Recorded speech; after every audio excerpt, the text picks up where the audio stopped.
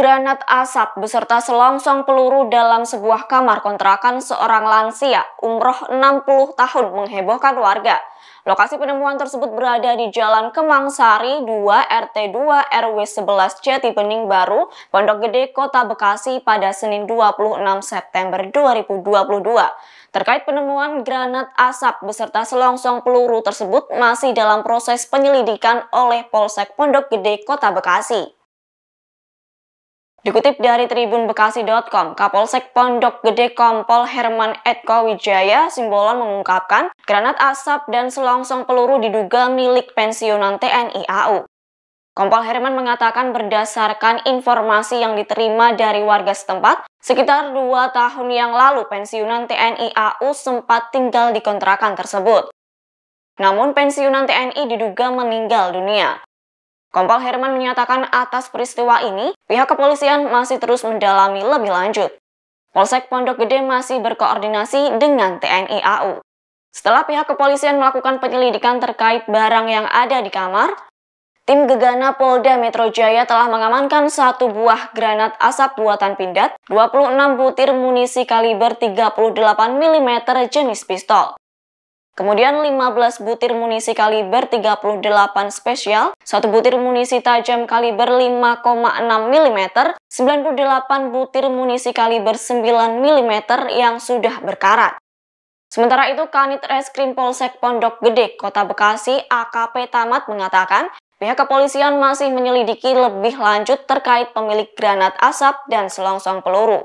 AKP Tamat menyatakan telah melakukan pemeriksaan terhadap empat saksi termasuk pemilik rumah kontrakan tersebut.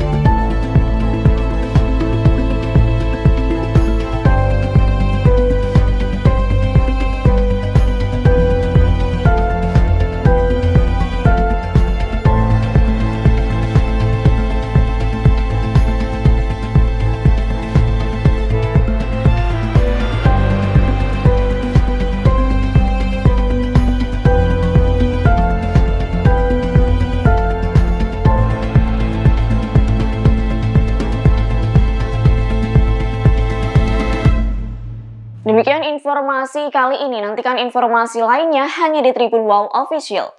Terima kasih sudah nonton. Jangan lupa like, subscribe, dan share ya.